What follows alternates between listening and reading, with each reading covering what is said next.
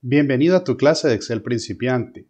Este día vamos a trabajar con los filtros. Esta herramienta en Excel nos va a servir para poder ordenar grandes cantidades de datos y poder analizarlas fácilmente.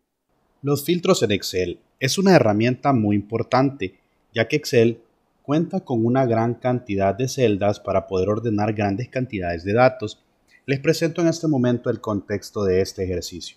Tenemos en pantalla una base de datos donde se ha registrado las ventas de cinco vendedores en tres zonas diferentes en un periodo del 1 de enero de 2019 al 31 de diciembre del 2021, solamente para efectos de ejemplo.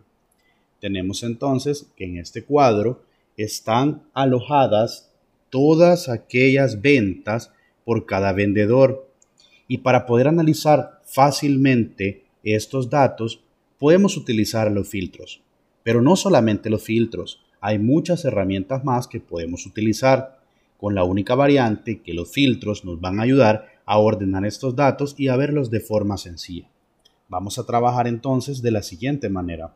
Primero que todo, es importante que sepamos cómo poder navegar entre las celdas con esta base de datos, recordando las clases anteriores, porque son grandes cantidades de datos tenemos aquí, en este caso, cinco columnas y la base tiene 16.441 filas.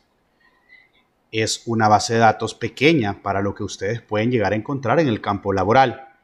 Ahora bien, observemos. Tenemos aquí ordenado desde el vendedor 1 hasta el vendedor 5 en un día.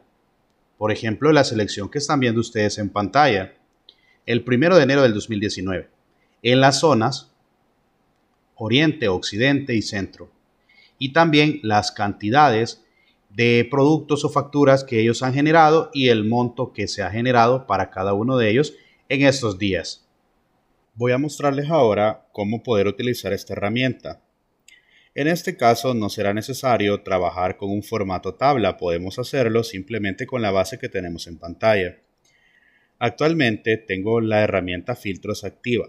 Voy a inhabilitarla para que luego pueda mostrarles en qué pestaña o cómo poder utilizarla.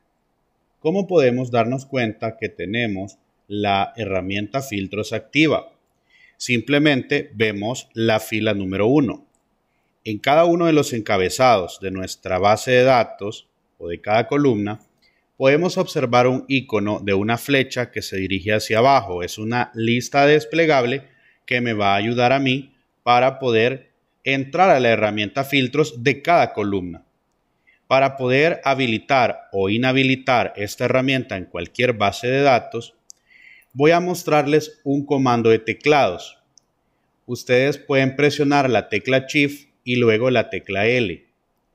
En algunas computadoras no será posible debido a que también ese comando de teclados se utiliza para otras cosas dentro de la computadora, como lo es en mi caso.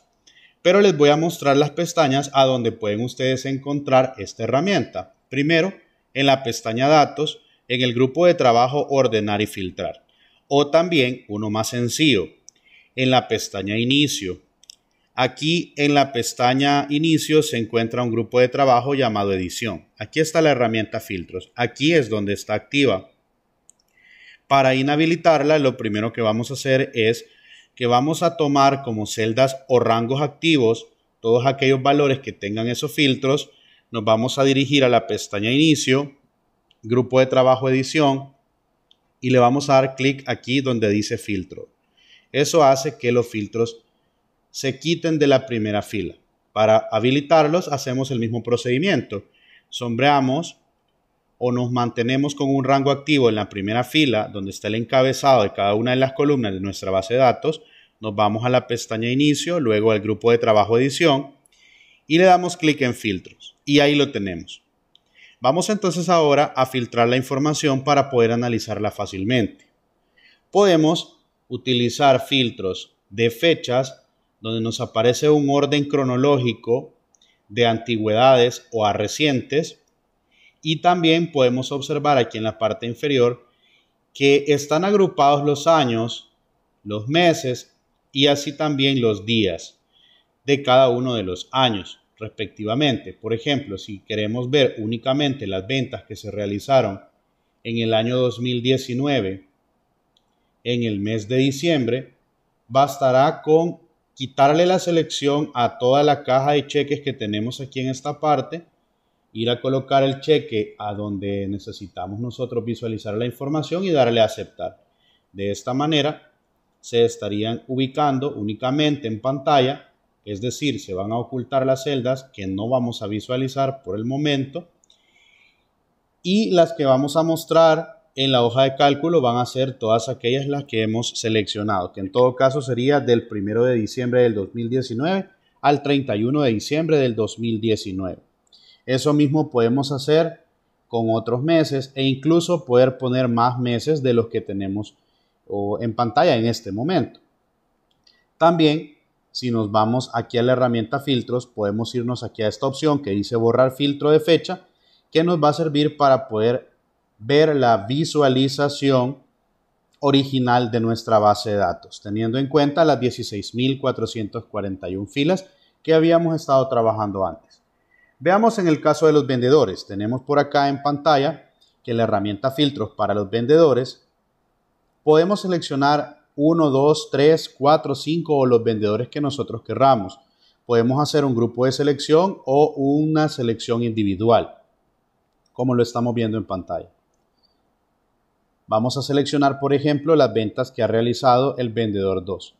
Si quisiéramos trabajar una base o visualizar las ventas del vendedor 2 en un periodo determinado, por ejemplo en diciembre del 2019, como lo habíamos visto antes, lo podemos hacer. Y aquí en pantalla salen únicamente el vendedor 2 en un periodo del 1 al 31 de diciembre del 2019, en las zonas Oriente, Occidente y Centro.